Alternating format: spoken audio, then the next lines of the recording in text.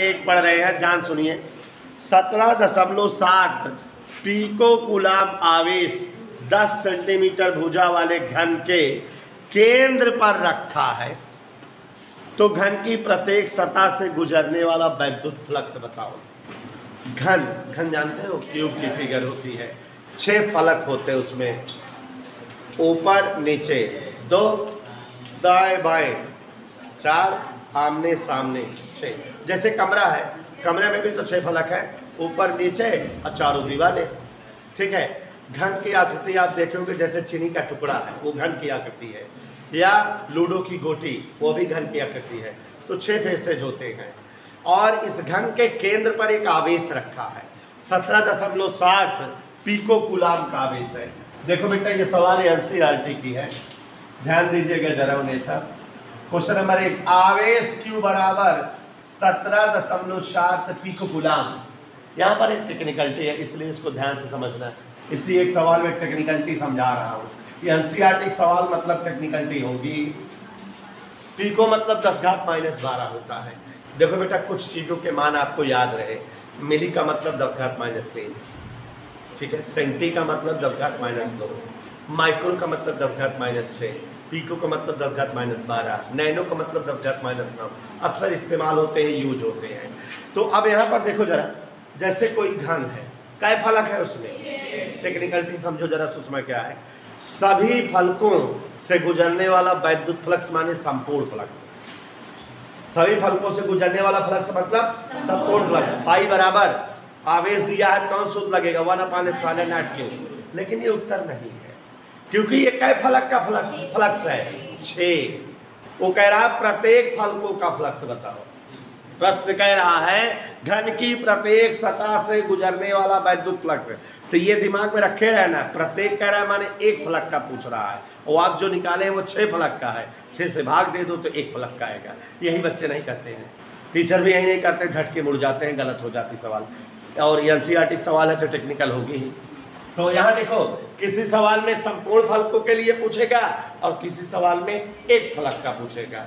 जब एक फलक का पूछेगा, घनाकार आकृति रहेगी तो कैसे भाग दोगे? छः और वर्गाकार आकृति रहेगी ऐसे समझे रहेगा इसलिए घन की सभी शिवांशु के बाद ध्यान में रखना। कै फलक? छह फलकों से होकर गुजरने वाला वैद्युत फ्लक्स फाई सफिक्स ई बराबर क्या सूत्र होता है? समझ में आया अब इक्का फलक का पूछ रहा है, कह रहा प्रत्येक फलकों से, माने एक फलक का। इसलिए, अब देखो किसी सवाल में छह फलक पूछेगा तो ये सूत्र। और किसी में एक फलक पूछेगा तो ये सूत्र प्रत्येक फलकों से गुजरने वाला, सुहाना नहीं समझ आया? ऐसा बता दो फाई जो छह फलक का है उससे किससे भाग देते त्रिशुडान वन अपान एप्सिलॉन नॉट इनटू क्यू अपान छह मान रखें आदर्श सिंह। एक का कोई मान नहीं होता क्यों का मान सत्रह दशमलव सात जुड़े दस की घात माइनस बारह अब साइलेंट आठ दशमलव आठ पाँच दो दस की घात। आज आप लोगों को बताएँ कसम से जो बहुत बेजती वाली बात है। अगर ये दशमलव और ये दशमलव हटेगा तो ऊपर एक ज़ीरो बढ़ जाएगा। पूछो क्यों? क्योंकि नीचे एक अदद है और नीचे दो पे है ऊपर एक था तो एक बढ़ा दिए। और सुहाना का पहाड़ा बहुत तेज है। इनसे पूछो, आठ सौ पचासी, एक आठ पचासी, दो दिन सत्रह सौ सत्तर बहुत तेज पहाड़ा इनका। दस घाट माइनस बारह बारह कट गया। कितना है? दो एक कम दो दो तीन अच्छा एक बचा तीन। क्या फ्लक्स का मात्र बताए हैं? न्यूटन मीटर स्क्वायर प्रतिकूला आंसर आ गया। ओके समझ में तो पहाड़ा देखो हमारा कितना तेज था। दूसरा सवाल पढ़ रहे हैं। ध्यान से सुनिएगा, सभी लोग, इसी बहन है। किसी घन के केंद्र में 10 माइक्रोकुलाम का एक आवेश धरा है। इसी की बहन है। कितना गुलाम रखा है? माइक्रोकुलाम बोले तो। सभी को समझ में आया बेटा? न्यूमेरिकल आना चाहिए इस चैप्टर का। तो घन के एक फलक से गुजरने वाला, वैद्युत फ्लक्स काय फलक से गुजरने वाला फ्लक्स होता है? इसलिए घन के एक फलक से गुजरने वाला फ्लक्स क्या होगा बच्चों, आप जान गए ना? संपूर्ण फ्लक्स है बोला ना मज़ा ना आए। बटे छा। बटे छा ज़रूरी है, कर्म। संपूर्ण फ्लक्स मतलब का सूत्र? यहाँ देखा या, ए या। अब क्यों कमाल? बटा यकीन है आप लोगों को मेरा? दस घर माइनस बारह ऊपर घर प्लस बारह। बारह छः गए छिया एक। छः छठे अड़तालीस से निकल हुआ छठे अड़तालीस से निकल हुआ था उसको मार खाओ इक्यावन, नीचे इक्यावन है, ऊपर सौ। पचास होता है। दो घाट में लगा देता है। मज़ा दिन ले जा हमसे। दो घाट में ला देता है। सौ हो गया? नीचे अगर केवल पचास हो, पचास दूनी सौ, दो यावत किनारे। लेकिन नीचे इक्यावन, पचास से ज़्यादा है। तो दो से कम। एक दशमलव नौ तीन मार तो ये ट्रिकी कैलकुलेशन है। ऐसा कुछ है? अरे भाग दे के देख लेते हैं। नहीं समझे? समझ आ गया। इक्यावन है ना ये ऊपर दो घात हला के सौ बना लिए। सौ बटा इक्यावन। सौ बटा पचास माने दो तो सौ बटा इक्यावन नीचे कुछ ज़्यादा हो गया तो दो ना आए दो से कम आए। मार दे।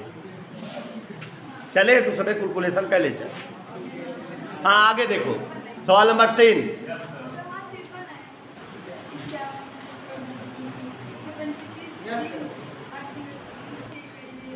हाँ अगला सवाल पढ़ रहे हैं।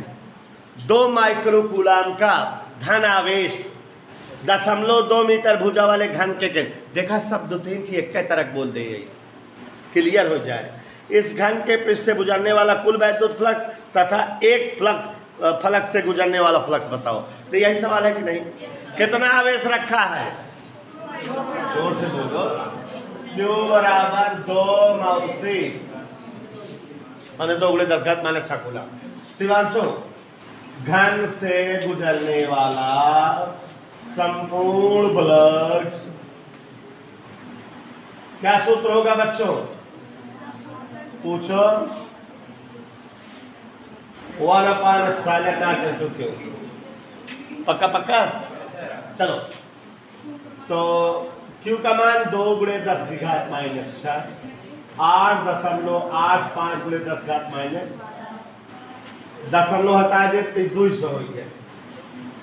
दो सौ बटे आठ सौ पचासी गुणे दस घात छः नंबर में चले हम? आठ दूनी सोलह। देखा, दशमलव लगाओ तो आठ सौ पचासी दूनी सत्रह सौ सत्तर। सत्रह सत्तर माने लगभग तीन सौ बचे, दो सौ नब्बे बचे, मान जाए दो सौ नब्बे बच्चे दशमलव फिर बढ़ाओ, फिर जो ना कहीं बात जाए। तो दो दशमलव दो लिख देते हैं। और गुणे दस के घात पाँच लिख देते हैं। कैलकुलेशन कह ले जाए, मान ले थोड़ के इधर उधर है तो फिर कह दे जाए। ठीक? काय फलक से आएगा? छ। एक फलक का इसलिए धन के एक फलक। सभी लोग ध्यान देंगे। से गुजरने वाला। समझिए बेटा, नहीं, हम तो क्या लगा के आगे बढ़ जाएँगे, आप समझ ही रहे हो। दो दशमलव दो गुणे दस घाट पाँच बटे छः। ये घाट हूँ बाईस हो गए छः तरीक अठारह, चार, बाईस छः बयालीस। तीन दशमलव पाँच गुणे दस घाट पाँच। दस घाट चार। कोनो दिक्कत नियर अबाउट वैल्यू में है। अगला सवाल पढ़े बेटा। दस सेमी त्रिज्या के, ध्यान से सुनना। कैसे सेमी त्रिज्या के।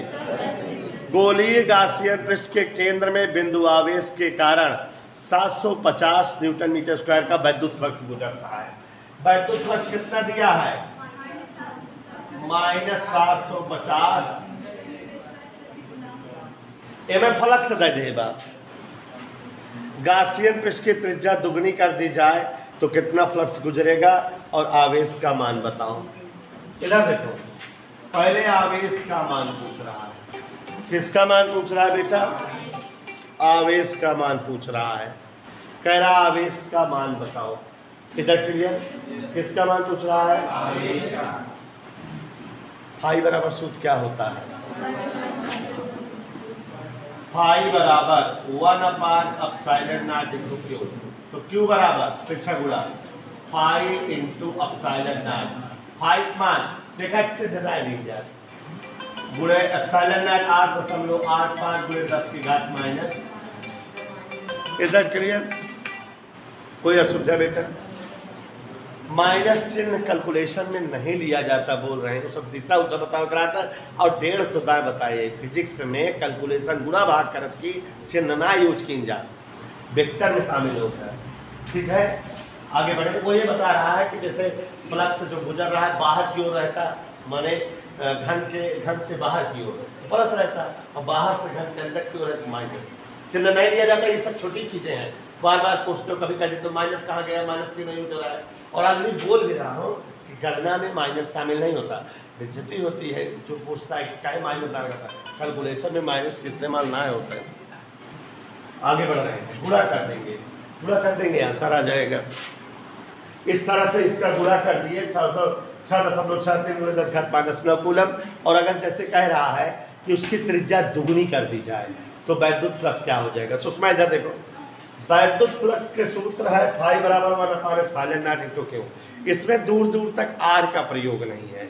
तो चाहे त्रिज्या दोगुनी करे चाहे आधी करे चाहे चौन गुना करे फ्लक्स पे कोनो प्रभाव न करे तो लिख देना त्रिज्या दोगुनी करने पर वैद्युत फ्लक्स में कोई परिवर्तन ठीक है?